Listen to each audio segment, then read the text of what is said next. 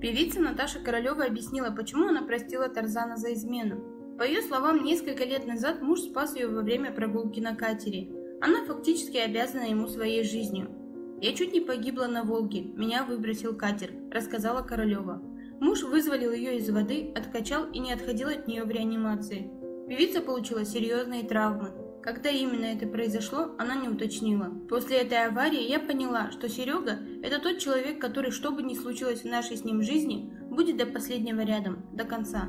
Как он меня спасал, как он со мной трое суток находился в реанимации. Менял мне судно, мыл меня. Я была на грани жизни и смерти, заявила звезда в интервью Ксении Собчак.